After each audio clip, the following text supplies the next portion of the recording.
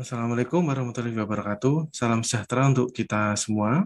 Pada kesempatan kali ini kita akan membahas tentang gambaran patologi anatomi dari respons seluler dan radang yang ini diperuntukkan untuk S1 pendidikan dokter.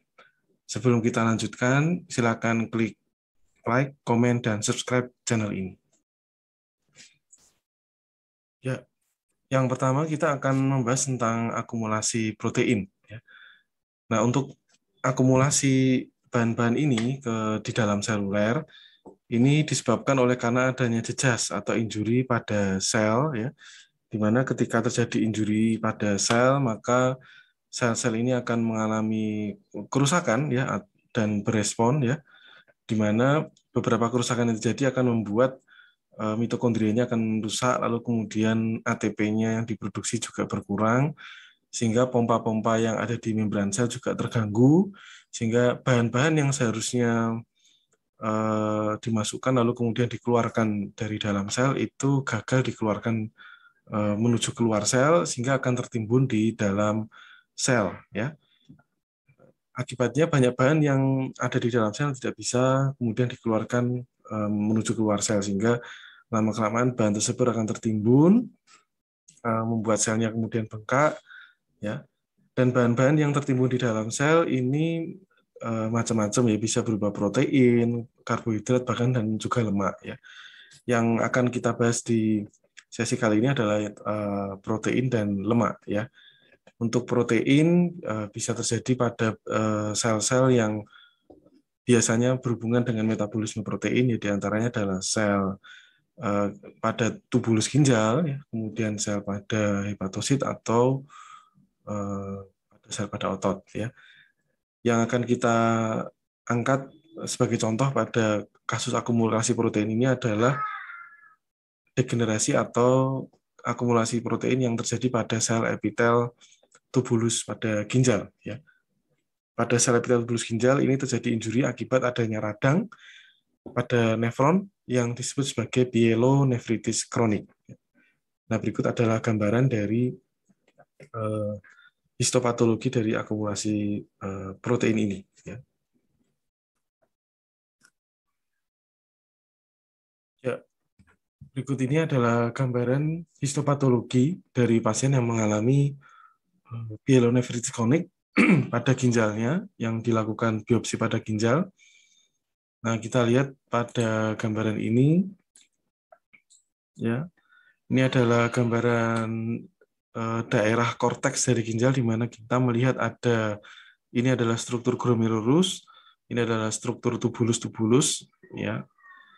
Kemudian kita lihat di stroma jaringan ikat ada di jaringan intersisial kita melihat eh, banyak sekali sebaran sel-sel radang jenis limfosit yang eh, menyebar di stroma jaringan ikat atau di jaringan intersisial yang mana seharusnya pada kondisi normal tentunya tidak ada sel radang di jaringan intersisial itu karena ini kondisi eh, peradangan pada kondisi pyelonefritis kronik maka banyak sekali sel-sel radang yang eh, tersebar di stroma jaringan ikatnya ya.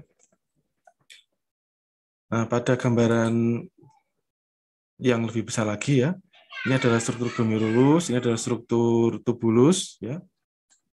Kalau kita lihat struktur tubulus yang normal ini kira-kira seperti ini di mana nukleus ya bulat kemudian sitoplasmanya juga mepet ke nukleusnya jadi eh, ramping ya. Ramping ya tidak bengkak atau tidak membesar ya. Tetapi kalau pada tubulus yang di sampingnya ini kita lihat sitoplasmanya membesar ya.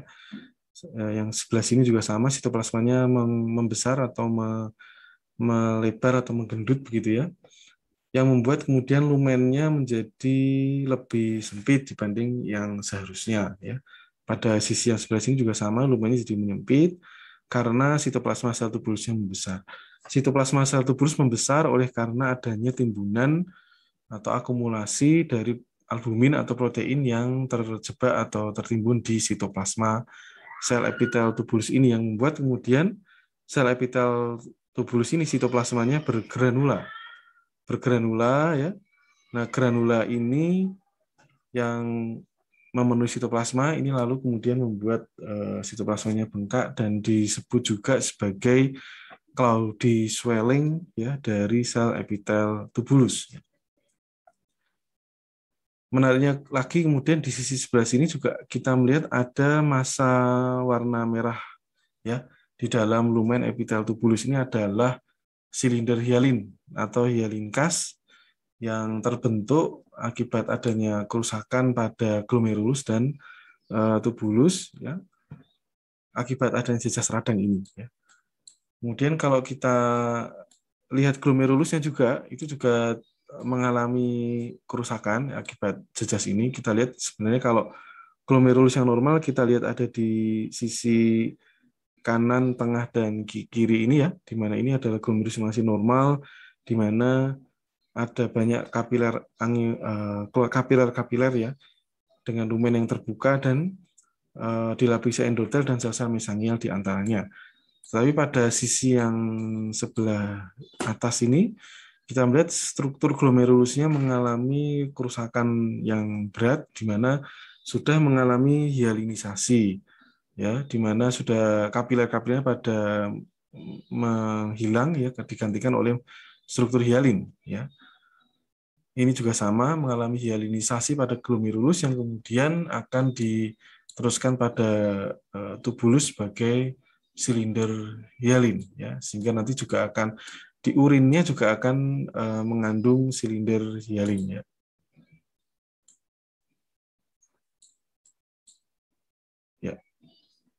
Ini kita lihat ada banyak radang yang tadi sudah kita jelaskan ya. Ini gambaran yang lain juga sama, kita bisa melihat ada epitel-epitel tubulus yang membengkak atau cloudy swelling yang kemudian membuat uh, lumennya menutup ya. Yang ini yang masih normal, ini masih normal. Ini sudah mulai menutup, ini menutup, ini juga sama. Sitoplasmanya membengkak ya. Tetapi pada akumulasi protein ini nukleusnya ini masih ada ya. Sehingga sel ini masih hidup ya. Sehingga masih ada kemungkinan untuk kemudian reversible atau kembali ke struktur yang normal ya jika jejasnya itu dihilangkan ya. Baik itu yang uh, bisa kita sampaikan untuk akumulasi protein. Berikutnya kita akan membahas tentang akumulasi lemak ya.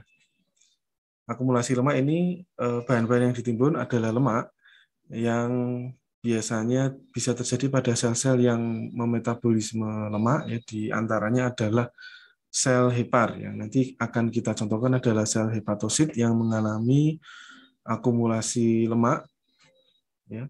Kita tahu bahwa sel hepar itu salah satu fungsinya dalam produksi VLDL LDL ya.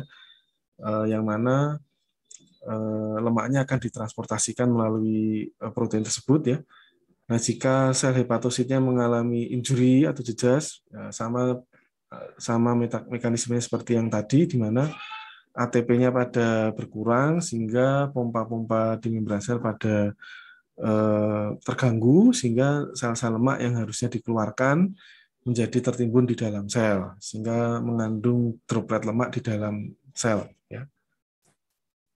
Nah, berikut adalah gambaran histopatologi dari Eh, kasus perlemakan hepar ya pada hepatosit yang mengalami steatosis atau perlemakan hepar. Ya, ini adalah perlemakan hepar atau steatosis pada hepar. Kita lihat di area-area tertentu ini sel hepatositnya masih normal ya, di mana sitoplasmanya masih uh, agak kemerahan dan nukleusnya juga bulat di tengah ya di tengah-tengah dari sel atau di dalam sitoplasma. Kemudian kalau kita geser ke sisi yang lain ternyata kita melihat ada banyak gelembung-gelembung ya.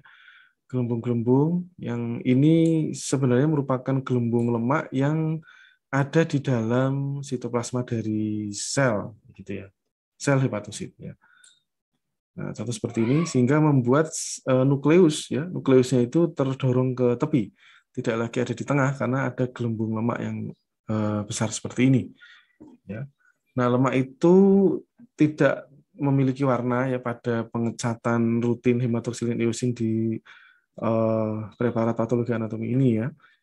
Karena uh, pada proses pembuatan slide dan proses pewarnaan HE itu ini akan dicelupkan atau dilarutkan di alkohol. Dan alkohol itu akan melarutkan lemak sehingga uh, lemaknya larut sehingga meninggalkan area kosong uh, seperti ini sehingga tidak terwarnai. Jadi seolah-olah kayak warnanya putih ya ini adalah menunjukkan adanya droplet lemak di dalam sel. Ya. Ada besaran yang pada pembesaran yang lebih kuat. Ini kalau sel-sel hepatosit yang mungkin masih normal seperti ini ya, nukleusnya di tengah-tengah ya, di tengah-tengah persis dan sitoplasmanya masih agak kemerahan. Tidak ada droplet lemak tentunya. Tapi kalau di sisi yang sebelah tengah atau sebelah kanan ini banyak sekali sel-sel hepatosit yang mengalami eh, perlemakan atau akumulasi lemak di dalam selnya. Di sekitarnya pun juga kita lihat di stroma atau di jaring intersisial ya ada beberapa sel-sel radang ya sebaran sel-sel radang yang juga eh, tersebar di antaranya oleh karena adanya jejas di dalam eh, hepatosit tersebut ya. Kasus perlemakan hepar ini sering terjadi pada eh, penderita-penderita yang obesitas ya atau diabetes mellitus ya. Yang kedua juga oleh karena adanya konsumsi alkohol atau minuman keras yang berlebihan ya. Sehingga pada orang-orang yang sering mabuk atau sering mengkonsumsi minuman keras itu heparnya ya akan mudah mengalami hepat uh, steatosis ya atau perlemakan hepar atau jadi timbulan-timbulan uh, droplet lemak di dalam uh, sel hepatositnya. Tentunya ini akan mengganggu fungsi hepar secara keseluruhan ya. Proses lanjut dari status ini nanti dia bisa mengalami komplikasi lanjut sebagai uh, sirosis hepatis ya dan seterusnya. Baik itu untuk akumulasi lemak ya. Berikutnya kita akan membahas tentang kematian sel ya. Kematian sel itu adalah sel yang mengalami kematian akibat jejas tentunya Nah, kematian sel ini bisa eh, dua bentuk, yaitu kematian sel yang secara terprogram atau disebut sebagai apoptosis, atau yang kedua adalah kematian sel yang memang tidak diprogram, ya, atau terjadi secara spontan, yang disebut sebagai nekrosis. Nah, kita akan bahas yang pertama dulu, yaitu apoptosis, yaitu kematian sel yang terprogram, ya, atau eh, nama awamnya adalah eh, sel yang mengalami bunuh diri ya. Sel yang mengalami bunuh diri ya. Namanya orang yang bunuh, bunuh diri itu kan pasti ada rencana ya ada ada program ya.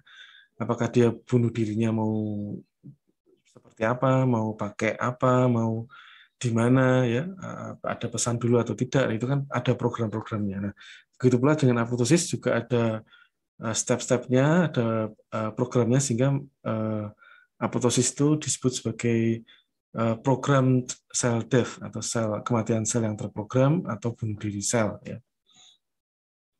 Penyebab dari apoptosis itu adalah khusus ya, tidak seperti penyebab pada umumnya nekrosis ya. Pada apoptosis ada beberapa sebab khusus di antaranya adalah sebab-sebab yang fisiologis dan yang patologis. Yang fisiologis di antaranya yang akan kita ambil contoh adalah pada kelenjar getah bening, yang mana pada kelenjar getah bening terdapat folikel limfoid yang merupakan tempat pematangan sel limfosit B, yang mana sel limfosit B akan dimatangkan di folikel limfoid di sentrum germinativumnya, di mana sel limfosit B akan dimatangkan untuk bisa menghasilkan antibodi atau imunoglobulin yang spesifik dan sensitif dan memiliki afinitas yang tinggi ke antigen. Sel limfosit B yang gagal produk atau gagal produksi, gagal memproduksi imunoglobulin yang baik, maka akan dilakukan uh, bunuh diri, ya, akan dimatikan gitu ya, akan diprogram untuk bunuh diri supaya uh, hasil akhirnya nanti limfosit B yang keluar dari sentrum germinativum atau yang Eh, dihasilkan itu adalah limfosit B yang benar-benar bagus ya, tidak cacat produksi, tidak memiliki anti imunoglobulin yang lemah ya. Ya. Nah, Nah, ini adalah gambaran histopatologi dari uh, kelenjar getah bening ya. Kelenjar getah bening yang normal. Ya, ini adalah proses fisiologi atau proses yang normal ya. Kita akan menemukan adanya folikel-folikel limfoid ya, folikel limfoid yang tengahnya warnanya lebih terang ini adalah sentrum germinativum yang merupakan tempat maturasi atau pematangan sel B. Nah, ini sel uh, sorry, ini adalah sentrum germinativum ya yang kemudian di area luarnya adalah mantle zone ya. Di area luarnya adalah limfosit B yang tidak mengalami pematangan, sedangkan yang di dalam sentrum adalah sel limfosit B yang sedang mengalami pematangan, sehingga bentuknya berbeda ya. Sel limfosit B yang di mantle zone kecil, sedangkan sel limfosit B yang di dalam sentrum besar-besar ya, besar-besar dengan kromatin yang lebih terang. Nah, secara normal di sentrum genematifum akan banyak sel yang eh, mengalami apoptosis ya, yang mengalami kegagalan ya, sehingga akan digantikan limfosit B yang baru begitu. Nah, kita lihat di sini eh, sel-sel limfosit B yang mengalami kematian ya atau mengalami apoptosis akan terfragmentasi yang membentuk eh, apoptotic bodies ya yang merupakan fragmentasi dari nukleus ya yang bentuknya kecil kemudian warnanya hiperkromatik atau piknotik ya hitam pekat ya. Jadi seperti ini ya ini hitam pekat seperti ini adalah apoptotic bodies. Nah sebagian dari apoptotic bodies ini akan dimakan oleh makrofag yang ada di sentrum ini. Nah makrofag ini eh, akan memakan apoptotic bodies. Ya kita lihat ini makrofag ini ini adalah inti sel makrofag, ya. Kemudian di sekitarnya ada tiga ya, ada tiga apoptotic bodies yang di, dimakan oleh si makrofag ini. Ini juga sama yang kelihatan di eh, perutnya atau di sitoplasmanya kelihatan ada apoptotic bodies-nya. Ya. Ini adalah wajar atau normal terjadi di sentrum germinativum akan banyak sebaran makrofag yang memakan apoptotic bodies yang disebut sebagai tingible body makrofag. Ya. Nah, gambaran yang lain dari sentrum di mana ini eh, sel-sel limfosit B yang masih hidup yang sedang mengalami pematangan. Di sekitarnya ada sel-sel yang mengalami apoptosis atau piknotik ya. Kemudian ada makrofag juga yang memakan apoptotic bodies ya seperti ini. Ini adalah sel epitel sorry sel makrofag yang di dalamnya ada banyak uh, nukleus serta Eh, banyak apoptotic bodies maksud saya. Nukleusnya cuma satu tapi yang apoptotic bodiesnya banyak ya. Ya ini adalah gambaran dari apoptosis.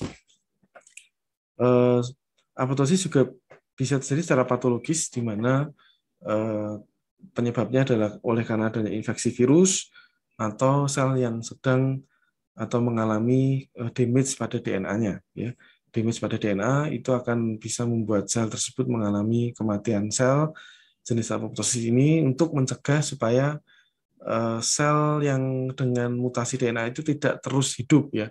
Karena sel dengan mutan dengan mutasi DNA kalau terus hidup itu akan berbahaya. Akan kemudian bisa bereplikasi kemudian membelah sel dan menyebarkan ya mutannya itu ke sel-sel tetangganya sehingga Eh, mekanisme yang normal akan dilakukan apoptosis atau bunuh diri sel ya. Baik itu untuk yang apoptosis. Nah berikutnya akan kita bahas tentang eh, kematian sel yang kedua yaitu nekrosis ya. Pada nekrosis ini kematian selnya secara spontan ya akibat jas yang bentuknya beraneka ragam ya bisa oleh karena infeksi atau bisa karena hipoksia atau iskemik atau eh, kekurangan pasokan O2 ya. Nah, eh, nekrosis yang terjadi oleh karena khusus ya, oleh karena eh, kurangnya pasokan O2 atau kondisi hipoksia atau iskemi, maka nekrosis ini disebut sebagai nekrosis iskemik ya atau nama lainnya adalah infark nekrosis yang penyebabnya bukan akibat uh, hipoksia atau kekurangan O2 ini tidak disebut sebagai infak, tetapi ya hanya disebut sebagai nekrosis saja. Ya. Yang akan kita ambil contoh adalah pada infak yang terjadi pada ginjal, ya, infak yang terjadi pada ginjal akibat adanya hipoksia pada ginjal, ya, akibat uh, mungkin bisa terjadi oleh karena arterinya mengalami uh, trombosis atau mengalami Eh, trauma pada arteri sehingga eh, banyak darah yang hilang sehingga darah yang darah yang disuplai ke ginjal menjadi berkurang itu akan membuat sel-sel eh, yang ada di dalam ginjal mengalami kematian. Nah, kematian yang terjadi pada nekrosis ini ya atau infark ya biasanya akan melibatkan banyak sel ya, tidak seperti apoptosis yang jumlah sel yang mati lebih sedikit ya dibanding jumlah sel yang masih hidup ya dan hanya kalau dalam satu kotak lapangan pandang itu hanya beberapa saja sel yang mengalami apoptosis. Tetapi kalau pada nekrosis ini dalam satu lapangan pandang itu semua sel ya, semua sel yang ada di lapangan pandang ini semuanya uh, mengalami kematian ya. Nah, ciri nekrosis adalah selnya, uh, nukleusnya itu akan menghilang atau mengalami kariolisis, mengalami lisis pada nukleus sehingga tinggal menyisakan struktur jaringan tanpa nukleus ya. Struktur sitoplasma saja tanpa nukleus ya karena nukleusnya mengalami hilang ya. Jadi tanda sel itu sudah mati atau sudah nekrosis adalah nukleusnya menghilang ya sehingga tinggal menyisakan struktur tanpa nukleus nah kita bisa masih bisa mengidentifikasi pada tahap-tahap awal nekrosis eh, glomerulusnya kita sebenarnya masih bisa melihat oh ini struktur glomerulus, oh ini adalah struktur tubulus ya. Tetapi kalau diperbesar ini glomerulusnya sudah tidak ada nukleusnya lagi, tubulusnya juga sama, tidak ada nukleusnya lagi ya. Ya, sama ya. Ini nukleusnya hilang di tubulusnya. Ya. Banyak nukleus yang hilang ya. Ini adalah tanda dari uh, nekrosis. Ya, berikutnya kita akan membahas tentang uh, perbaikan jaringan atau tissue repair ya. Pada proses perbaikan jaringan ya, misalnya pada luka sayat gitu, pada kulit misalnya itu bisa terjadi penyembuhan jaringan yang dikenal ada dua jenis atau dua tahap atau dua tipe yaitu tipe penyembuhan primer atau penyembuh, yang kedua adalah tipe penyembuhan sekunder ya atau primary intention atau primary, uh, yang kedua adalah secondary intention. Nah, pada penyembuhan luka secara primer ya, itu syaratnya adalah tepi luka antar tepi luka itu jaraknya pendek ya, tidak jauh, kemudian tidak banyak jaringan atau tidak banyak sel yang hilang ya, dan kondisi uh, lukanya adalah uh, minimal Eh, infeksi atau minimal mikroorganisme yang ada di situ. Sehingga nanti penyembuhannya bisa dalam waktu yang lebih cepat dan tidak menimbulkan atau membentuk jaringan fibrosis atau paru.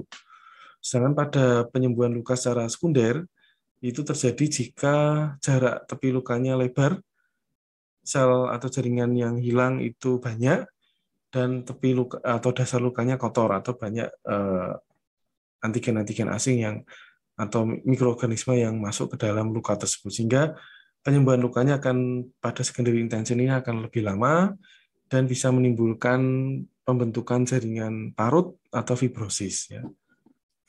Nah, sebenarnya kalau pasien datang dengan uh, luka yang dengan ciri-ciri yang seperti itu, seperti yang secondary intention itu, itu bisa kita modifikasi supaya luka tersebut sembuh secara primer, yaitu dengan cara mendekatkan tepi-tepi luka ya, lalu kemudian membersihkan area di dasar luka ya.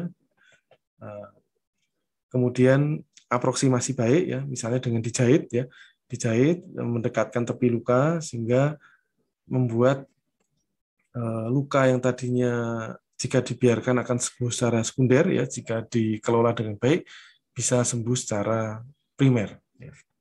Nah, ini adalah gambaran histopatologi dari proses penyembuhan luka yang ini merupakan penelitian pada tikus yang diberi luka sayatan ya pada mukosanya ya. Yang mana kita melihat di sini adalah epitel. Ini adalah epitel squamous kompleks pada mukosa. Ini adalah subepitel yang merupakan stroma jaringan ikat ya. Ini daerah yang eh, di sini adalah sel-sel epitel yang normal yang tidak mengalami perlukaan ya. Kemudian kita lihat di sel di stroma subepitelnya juga sepi ya. Sepi eh, sel-selnya sedikit ya jaringan ikat dan sel radangnya juga nggak ada atau sedikit.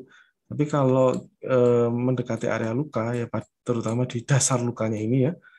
Nah, ini rame ya, rame banyak sekali sel-sel yang ada di sini. Nah, kalau kita bisa lebih lanjut,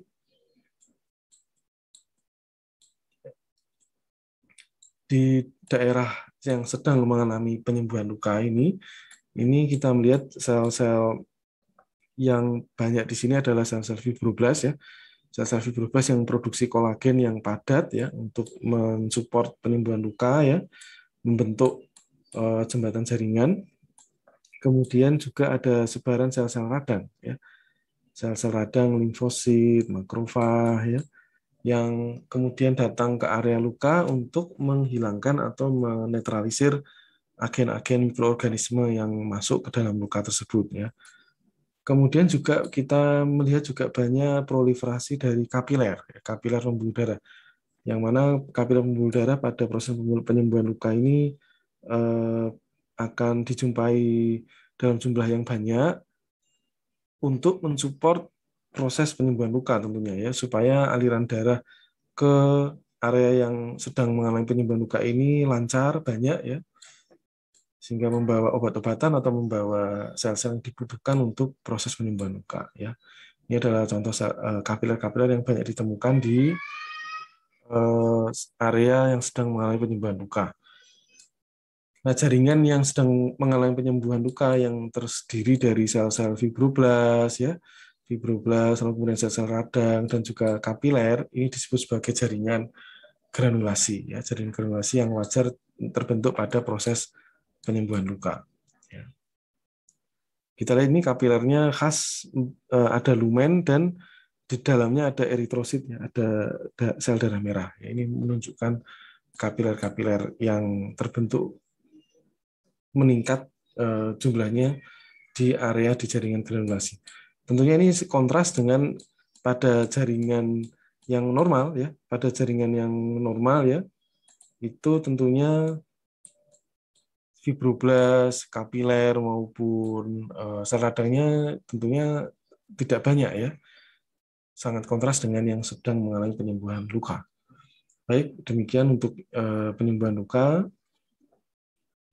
Berikutnya kita akan membahas tentang radang ya radang ini merupakan respon dari jaringan tubuh kita akibat adanya jejas bisa berupa terutama adalah infeksi tapi bisa juga yang non infeksi ya. Nah, radang ini kita bagi menjadi tiga yaitu radang akut, radang kronik dan radang granulomatosa ya. Nah, radang ini melibatkan interaksi dari berbagai komponen ya di antara adalah komponen seluler ya dan komponen humoral ya. Komponen seluler di antaranya adalah ada beberapa interaksi dari endotel pembuluh darah yang kemudian pada proses peradangan dia akan melebar ya, mengalami vasodilatasi. Kemudian juga komponen seluler yaitu sel-sel leukosit ya terutama kalau pada radang akut neutrofil ya, kalau pada radang kronik limfosit yang kemudian akan mendatangi atau banyak terkumpul di area yang sedang terjadi injury atau sedang jadi infeksi di area, di area tersebut ya yang kemudian juga interaksi dari komponen humoral yaitu dalam hal ini adalah adanya antibodi ataupun adanya uh, komplemen atau mediator-mediator kimia yang bisa uh, kemudian memberikan perubahan-perubahan pada radang ya di antaranya misalnya mediator kimia uh, leukotrien atau histamin yang kemudian membuat pembuluh-pembuluh darah itu pada melebar ya kemudian interleukin yang membuat kemotaksis ya sel-sel leukosit pada datang ya dan ada beberapa mediator kimia yang kemudian merangsang ujung-ujung saraf sehingga pada proses peradangan juga eh, bisa juga disertai dengan keluhan nyeri ya. Nah, yang pertama kita akan bahas tentang radang akut ya. Yang pertama kita akan bahas tentang radang akut ya. Radang akut ini uh, terjadi pada uh, waktu yang relatif cepat ya, mungkin kurang dari dua minggu ya, tapi dengan destruksi yang biasanya berat ya, destruksinya hebat. Radang pada jaringan ya, ini akan disebut sebagai penamaannya adalah nama organnya itu di depan lalu kemudian diikuti di belakangnya dengan tis ya. Misalnya organ yang mengalami peradangan adalah appendix. Nanti kalau meradang disebut sebagai appendicitis. Hepar misalnya menjadi hepatitis ya. Nefron menjadi nefritis ya. Dan seterusnya. Ya ini contoh nanti akan kita contohkan pada radang akut adalah pada appendix ya. Ya ini adalah radang akut pada appendix yaitu appendicitis akut ya. Kita melihat appendicitis appendix ya, dinding appendix ini terdiri dari lapisannya yang setelah di paling dalam tentunya lumen yang kemudian yang melapisi eh, terdalam adalah mukosa ya yang dilapisi epitel kolumner bergoblet ya ini bergoblet ya ini mukosanya kemudian melekuk menjadi kripta-kripta kelenjar ya. Ini kripta-kripta pada lamina propria dari mukosa ya. Kemudian ada lagi muskularis mukosa ya tetapi tidak terlalu kelihatan di sini ya karena tertutup oleh sel-sel radang yang banyak. Lalu kemudian ada di bawahnya adalah submukosa ya.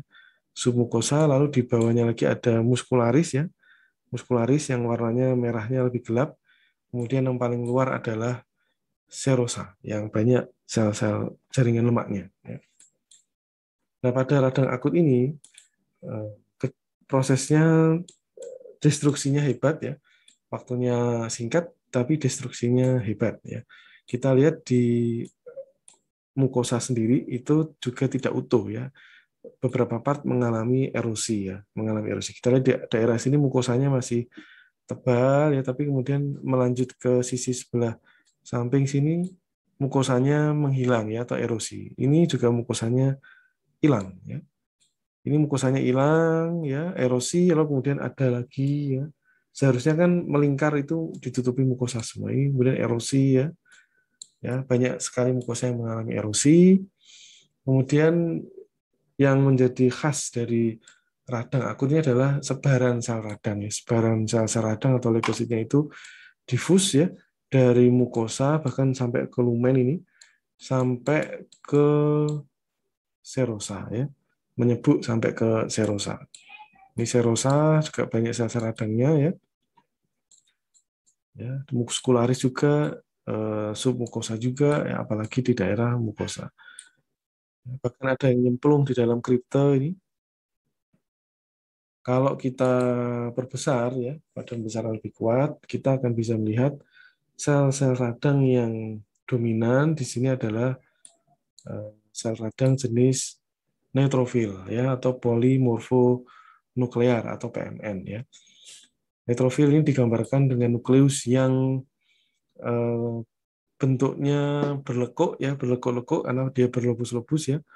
Bisa seperti kacamata ya kayak kalau uh, dari jauh ini ya. Atau seperti Mickey Mouse begitu seperti ini ya kayak gini. Jadi yang pasti bentuknya tidak bulat ya tidak bulat. Yang mana kalau neutrofil di jaringan gambarannya agak berbeda uh, mungkin agak lebih kecil ya dibandingkan kalau neutrofil di darah tepi ya. Kalau di uh, darah tepi itu bisa kelihatan bagus ya karena floating gitu ya, floating di darah. Jadi dia benar-benar ukurannya uh, normal besar dan nukleusnya lobus-lobusnya kelihatan jelas. Tapi kalau di jaringan ini uh, lobus lobusnya nggak terlalu kelihatan, tapi yang jelas dia uh, setidaknya dia tidak bulat seperti limfosit ya.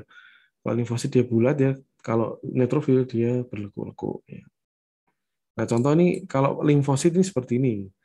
Limfosit itu ya seperti ini ya. Dia bulat, sitoplasmanya sempit ya. Bulat, bulat, bulat, sitoplasma sempit itu limfosit. Tapi kalau neutrofil dia eh, sitoplasmanya luas, merah dan eh, intinya berlekuk-lekuk ya, berlebus-lebus ya, seperti ini. Ini adalah neutrofil ya. Nah, ini adalah limfosit, tetapi ini adalah limfosit yang menghuni uh, jaringan limfoid uh, pada mukosa GI tract, yaitu mukosa associated lymphoid tissue ya. Ini adalah kumpulan limfosit di yang secara normal ada di area mukosa atau submukosa ya. Ini sisi yang lain juga sama, ini banyak sekali neutrofilnya ya. Yang nukleusnya berlekuk-berlekuk ya, ini pada lumennya malah ya ada sim daerah sini juga banyak area neutrofilnya. Ini adalah tanda khas dari radang akut. Ya. Baik. Berikutnya kita akan bahas tentang radang kronik ya. Radang kronik ini kejadiannya lebih lama ya, lebih dari dua minggu sampai uh, sebulanan ya, dengan destruksi yang lebih uh, minimal ya dibanding yang radang akut ya. Dengan dominasi sel radang adalah limfosit atau mononuklear. Ya. Ini adalah gambaran radang kronik yang kita contohkan adalah di vesikavelia. Ya. Vesikavelia yang meradang disebut sebagai kolesistitis kronik. Ya.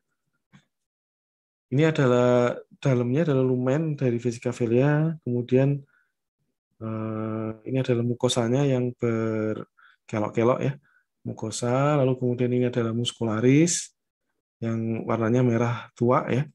Kemudian di paling luar, dinding luar adalah serosa. Ini serosanya agak tebal ya. Muskulari, ah, sorry, mukosa, muskularis, serosa ya. Nah, ini berlekuk-lekuk mukosanya juga dilapisi oleh epitel kolumner ya, kolumner tapi tidak berboblet ya. Nah, ini kalau dilihat lebih kuat ya, pembesar pada besar lebih kuat, di bawah epitel mukosa ini di stroma jaringan ikatnya banyak sebaran sel-sel radang ya, terutama adalah bentuk yang bulat yaitu limfosit ya. Ini banyak sekali daerah sini limfosit limfosit ya ada mungkin neutrofil tapi cuma satu dua tapi yang dominannya adalah limfosit ya. Kalau kita lihat di sisi yang sebelah sini juga sama. Ini banyak sel-sel radang limfosit-limfositnya. Nah, kalau dilihat lebih lanjut, ya khasnya juga pada eh, kolesisitis eh, kronik ini adalah efek dari radang yang kronik ini membuat eh, mukosa ya mukosa ini kemudian akan mengalami invaginasi atau mengalami herniasi masuk sampai menjorok ke arah mukosa eh, ke arah muskularis ya. Ini kita lihat di antara ini muskularis lalu kemudian di area sini antara muskularisnya itu ada kantong ya, ada kantong mukosa. Seperti ini ada kantong mukosa ya. Kalau ya ini ada kantong mukosa juga, ini ada kantong mukosa ya yang kantong-kantong ini disebut sebagai sinus Rokitansky Astov yang merupakan tanda khas juga yang dijumpai ya ini ya misalnya dijumpai pada radang kronik pada fisika velea ya. Berikutnya adalah radang granulomatosa. Radang granulomatosa disebut demikian karena dia khasnya dalam bentuk struktur granuloma ya.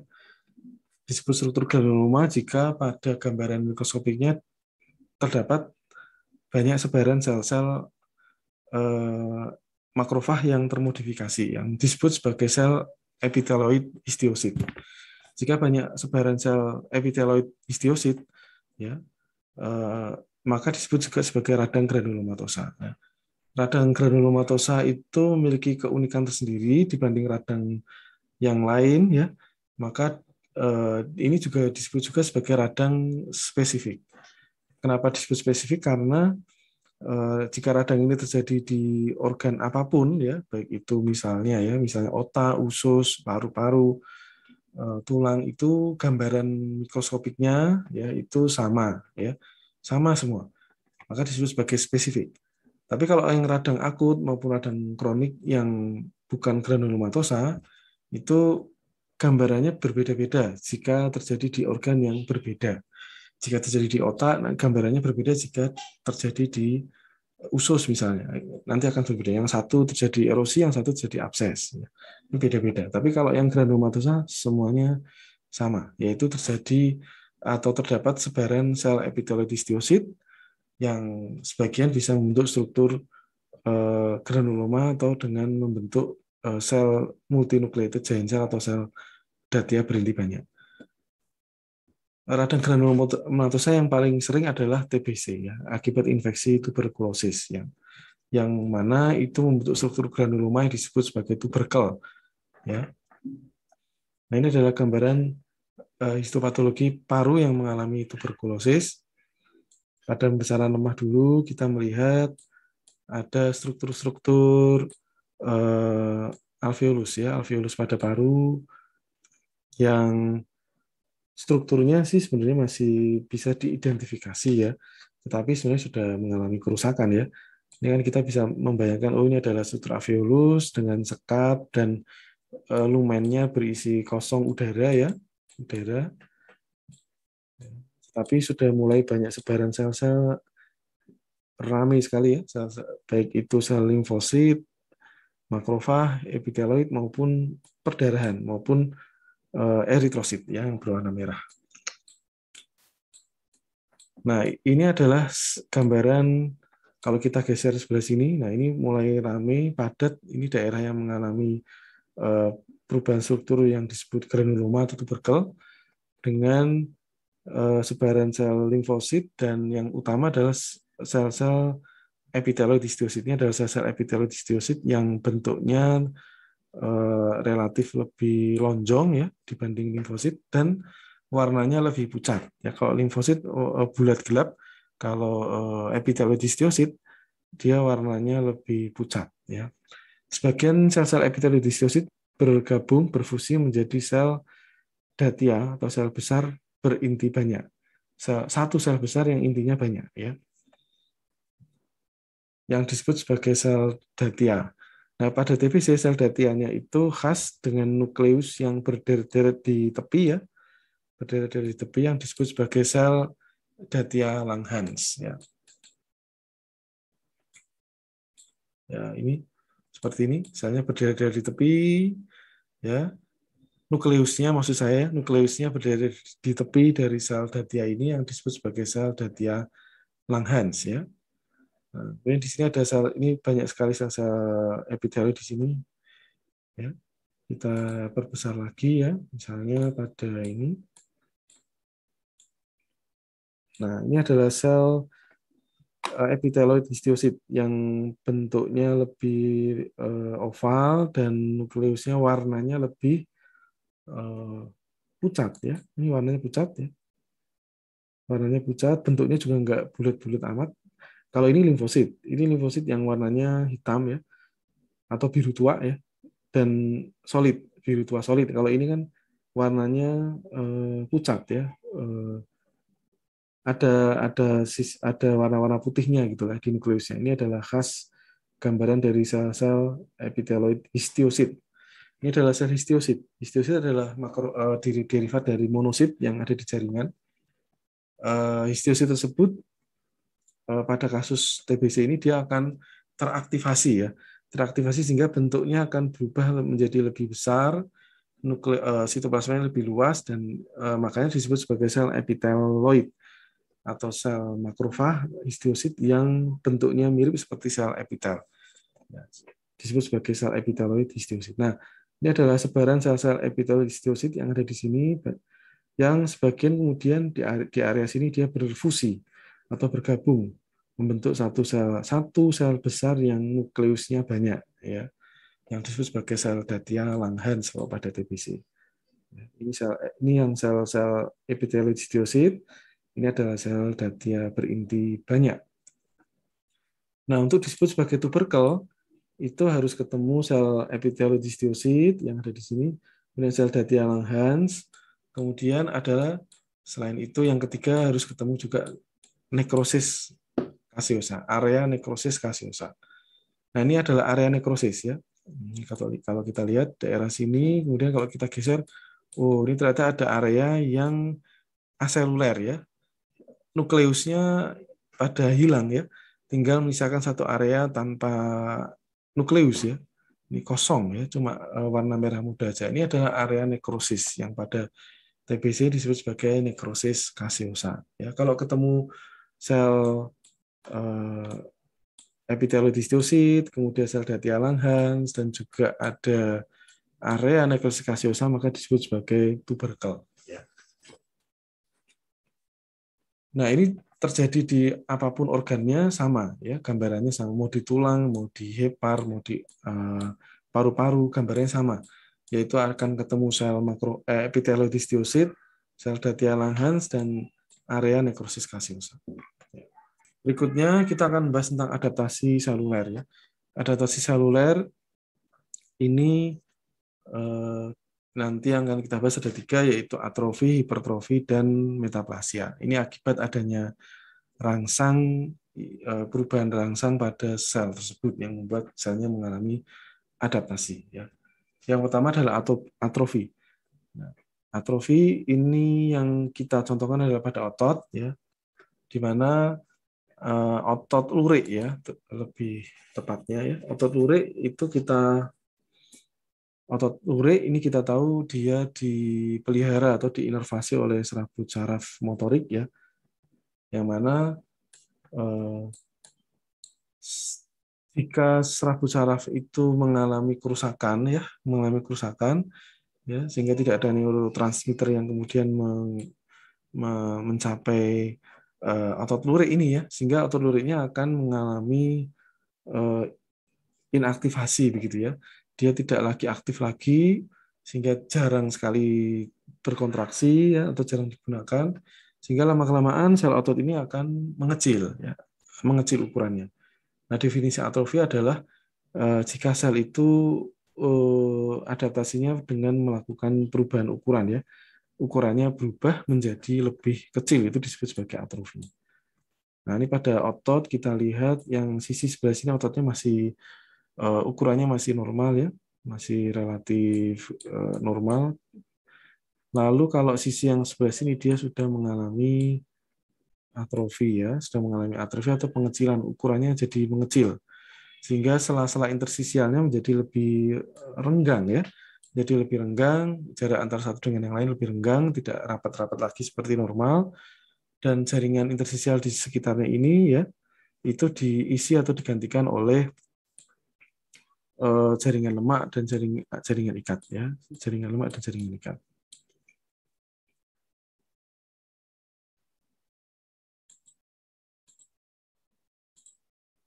ya ini sel-sel otot mungkin yang masih ukurannya masih normal jarak satu dengan lainnya masih agak rapat nah kalau yang sini sudah agak renggang-renggang ya karena sel ototnya mengecil ya dan jaringan di sekitarnya diisi oleh sel-sel lemak dan jaringan ikat ya. Proses atrofi pada otot bisa jadi pada berbagai penyebab ya bisa karena kerusakan saraf atau bed yang sangat lama sehingga ototnya jarang digunakan sehingga mengecil ya atau mungkin pada malnutrisi ya berikutnya berikutnya akan kita bahas hipertrofi ini kebalikan dari atrofi ya hipertrofi itu adalah eh, selnya itu membesar ya karena sel-selnya pada membesar, maka organ secara keseluruhan juga akan membesar. Ya. Contoh adalah pada eh, binaragawan yang melatih ototnya dikontraksikan terus-menerus, itu lama-lama ototnya akan membesar. Yang kedua adalah pada eh, uterus pada ibu hamil yang yang harus eh, kemudian ukurannya membesar untuk bisa menampung janin. Ya. Nah ini adalah gambaran histopatologi dari uterus pada ibu hamil ya, yang yang mana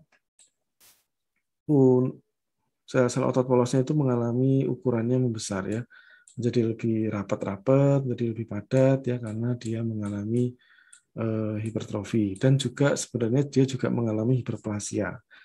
Jadi selain ukurannya bertambah, uh, jumlahnya pun juga bertambah sehingga secara keseluruhan organnya jadi bertambah besar, gitu ya. Kita akan bahas metaplasia. Nah, metaplasia ini adalah bentuk adaptasi seluler yang mana sel epitelnya itu akan berubah menjadi sel epitel jenis yang lain ya. Misalnya tadinya sel epitel squamous berubah menjadi koluner atau kebalikannya yang sel epitel koluner berubah menjadi sel epitel squamous. Nah, perubahan tersebut dinamakan sesuai epitel yang eh, terbarunya yang berubah menjadi sel apa. Misalnya yang tadinya kolumner menjadi squamous dinamakan sebagai metaplasi squamous. Kalau dari squamous berubah jadi kolumner dinamakan sebagai metaplasia kolumner. Ya.